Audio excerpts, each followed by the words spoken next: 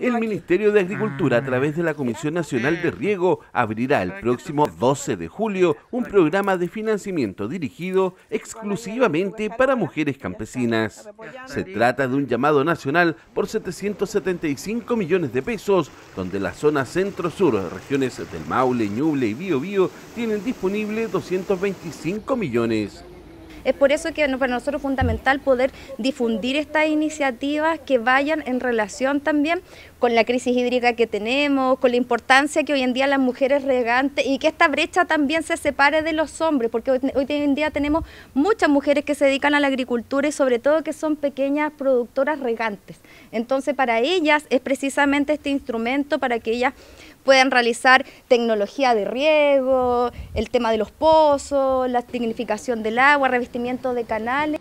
El llamado está destinado a agricultoras usuarias de INDAP, además de aquellas pequeñas agricultoras que estén interesadas en obtener financiamiento para obras de tecnificación de riego, pozos e impulsiones asociados a un sistema de riego existente, obras civiles de acumulación intrapredial y sistemas de captación de aguas lluvias.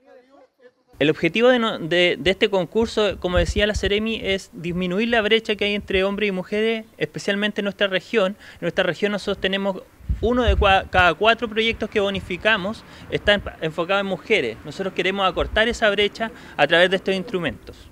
Hasta el 3 de agosto es el plazo para presentar las iniciativas. Los proyectos deben ser presentados a través de un consultor de la ley de riego acreditado ante la CNR. Si bien el consultor es el encargado de la asesoría y la formulación del proyecto, las interesadas pueden acudir a las oficinas del Ministerio de Agricultura y también de la CNR para recibir orientación.